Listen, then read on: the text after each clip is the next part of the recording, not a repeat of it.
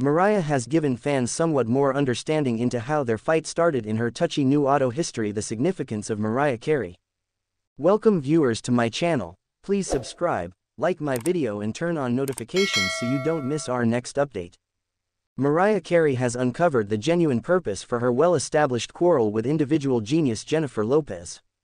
In a tell-all diary, Mariah has revealed insight into their stressed relationship and tossed in a savage dig, only just in case.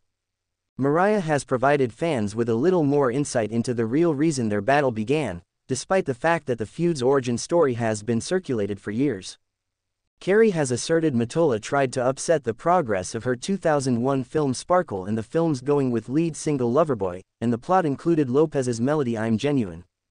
Mariah Carey, won't keep down, in tell-all personal history covering celeb fights. The vocalist composed, quite a bit of what turned out badly with Sparkle drove back to Tommy. He used all of his power and connections to punish me because he was angry about the divorce and my departure from Sony. Mariah said that the movie didn't win any awards, but she partly blames it on her ex-husband, whom she had divorced three years before Glitter came out. The megastar blamed Mottola, and his associates, of obstructing the film's soundtrack and taking out her standees and special things from record shops. It was basically impossible that he would permit me to have an enormous accomplishment in the wake of leaving him and Sony. He wouldn't let me or Sparkle. Mariah claims that the lead single Loverboy featured a sample of the Yellow Magic Orchestra song Firecracker because JLo was involved in its production. Carey has guaranteed that Sony raced to make JLo's single I'm Genuine, remembering an example of firework for it subsequent to learning the track had been utilized in Loverboy.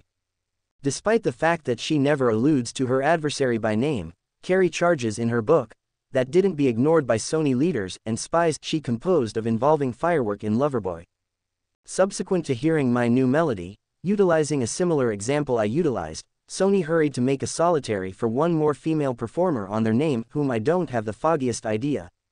She expresses that Ya was working with her on a tune before Mottola became involved and wound up teaming up with JLo on I'm Genuine. Mariah claims her ex called, his chief Irv Gotti, requesting that him and Ya team up on a two-part harmony for a similar female performer's record, passing on me to hurry and revamp the tune. Carey proceeded to make a savage dig at JLo, composing, What's more, after all that poop, Loverboy, turned out to be the top of the line single of 2001 in the US. I'm genuine.